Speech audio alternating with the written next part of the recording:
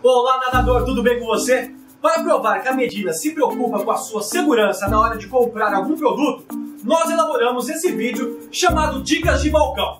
Nele será apresentado algumas dicas que foram cuidadosamente elaboradas com a finalidade de ajudar a você a tomar as melhores decisões em suas compras aqui na Medinas. Por isso, fique atento a cada uma delas. Vamos lá!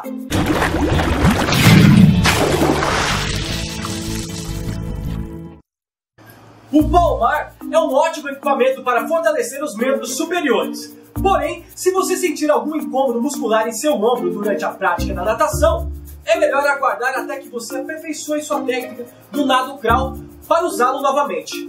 Dessa forma, ao não sentir mais dores, o uso do palmar trará melhores resultados.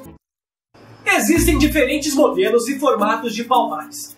Cada um deles tem uma característica específica e por isso, se você é iniciante e não exercita os braços frequentemente, procure palmares menores que proporcionam uma menor resistência na água. Conforme a sua força e resistência no braço forem aumentando, procure comprar palmares maiores, que são os mais indicados para essa ocasião. Caso você esteja procurando um palmar para melhorar a sua performance em um determinado estilo de nado, como o nado peito, aqui na Medinas você encontrará um modelo específico para essa ocasião. Chegamos ao fim das nossas dicas de balcão.